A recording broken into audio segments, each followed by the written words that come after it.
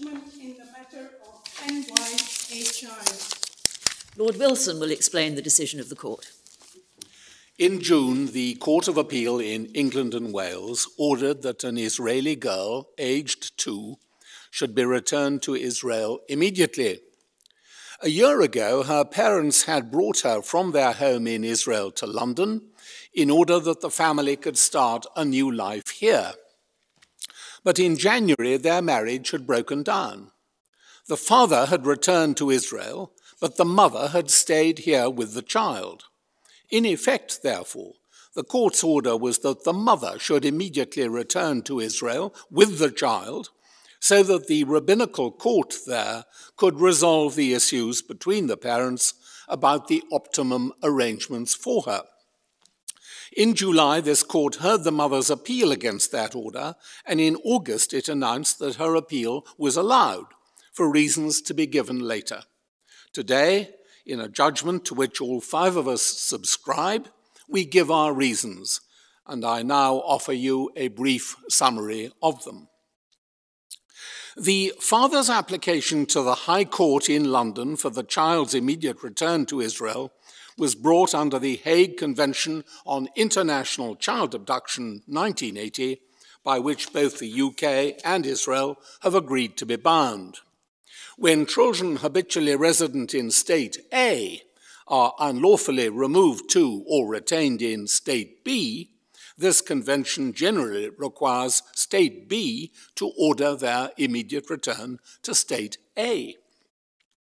The trial judge made an order for the child's immediate return to Israel under the convention.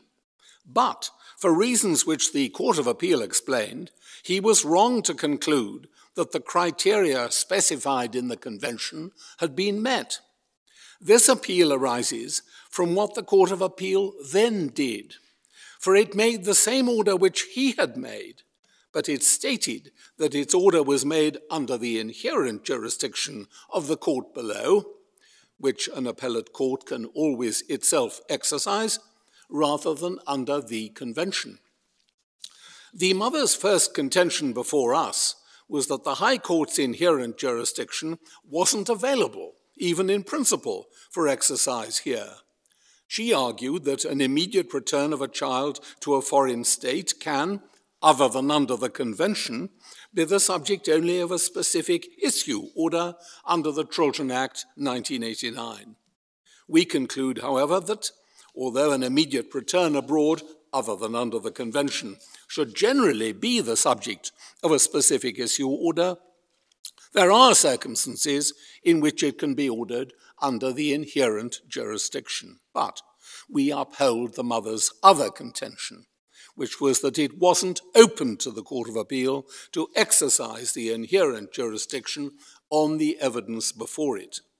The exercise of the High Court's inherent jurisdiction in relation to children is governed by Section 1.1 of the Children Act, which makes their welfare the paramount consideration even when the court contemplates exercising it so as to order their immediate return abroad.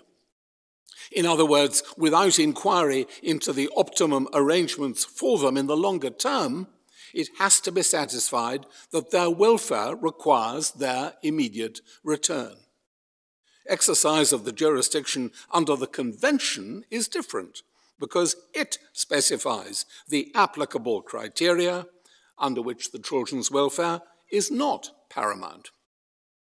It follows that the judge didn't conduct an inquiry in which this child's welfare was paramount, and that he didn't make findings which enabled the Court of Appeal to conclude that her welfare required her immediate return to Israel.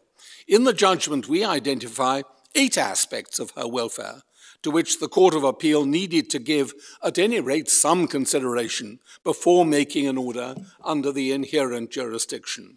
But it didn't do so and couldn't do so, and we therefore allowed the appeal.